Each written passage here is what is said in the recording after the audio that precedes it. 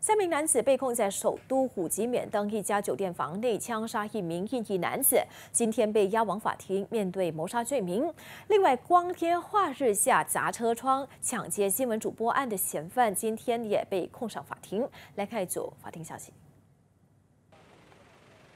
三名年龄介于四十八到五十二岁的被告，被控在这个月三号下午六点零五分到六点四十分之间，在五级免登一间酒店房内开枪杀死一名四十九岁的男子，抵触刑事法典三零二谋杀条文。一旦罪名成立，将被判处死刑。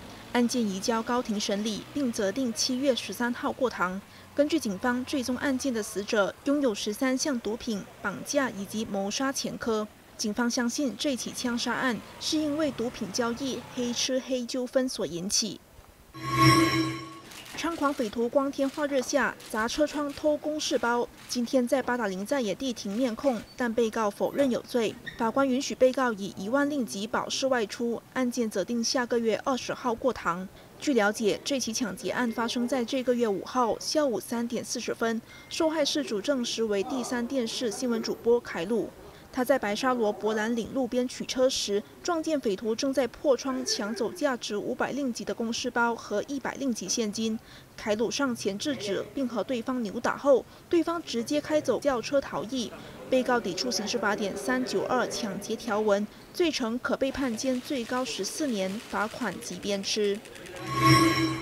另外，在马六甲，一名四十二岁女子被控在五月七号晚上十点四十五分用扫把打伤一名执法警员，抵触刑事法典三三二，也就是致伤公务员条文。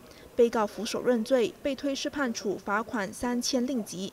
如果无法缴付罚款，就必须以坐牢六个月取代。据了解，这名女子在住家对哥哥发脾气，并乱扔东西，哥哥迫于无奈，只好报警求助。不料两名警员抵达现场后，女子依然没控制好情绪，用扫帚棍子打伤其中一名警员。